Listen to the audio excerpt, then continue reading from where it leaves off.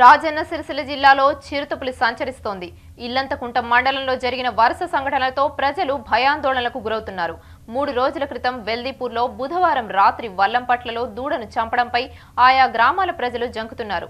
అటవీ శాఖ అధికారులు సీసీ కెమెరాలు ఏర్పాటు చేసి జాగ్రత్తలు చెప్పినప్పటికీ ఎప్పుడేం జరుగుతుందోనన్న భయంతో బిక్కు బిక్కుమంటూ గడుపుతున్నారు ఆయా గ్రామాల ప్రజలు. రాజన్న సిరిసిల్ల జిల్లాలో చిరుత సంచారం ప్రజలను కంటి మీద కునుకు లేకుండా చేస్తోంది. ఇల్లంతకుంట మండలంలోని పలు గ్రామాలలో రాత్రి వేళల్లో చిరుత సంచరిస్తూ పశువులను చంపడంపై ప్రజలు భయాందోళన వ్యక్తం చేస్తున్నారు. మండలంలోని వల్లంపట్ల గ్రామంలో బుధవారం రాత్రి మచ్చ రాజేశంకు చెందిన దూడను చంపడంపై గ్రామస్తులు తీవ్ర ఆందోళనకు గురయ్యారు. సమాచారం తెలుసుకున్న అటవీ శాఖ అధికారులు సంఘటనా స్థలాన్ని పరిశీలించి సీసీ కెమెరాలు అమర్చి పలు గ్రామస్తులకు పలు సూచనలు చేశారు.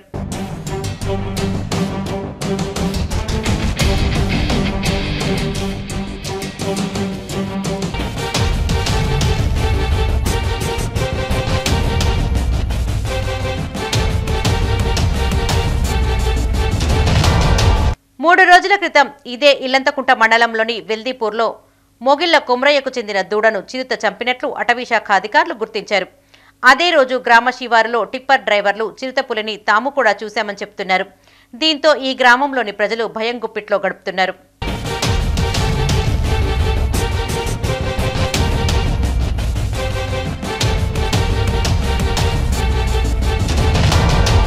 గతంలో ఇల్లంతకుంట మండలం వెంకట్రావుపల్లిలోని పాడుబడ్డ బావిలో చిరుతపులిని చూసిన గ్రామస్తులు అటవీశాఖ అధికారులకు సమాచారం ఇవ్వడంతో వరంగల్ రెస్క్యూ టీం పట్టుకుని అడవిలో వదిలిపెట్టారు.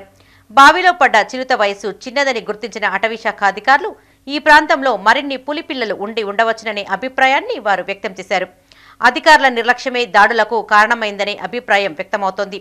ఇప్పటికైనా అటవీశాఖ అధికారులు స్పందించి గ్రామాల్లో తిరుగుతున్న చిరుతను పట్టుకొని చిట్టడవులకు తరలించాలని ప్రజలు కోరుతున్నారు.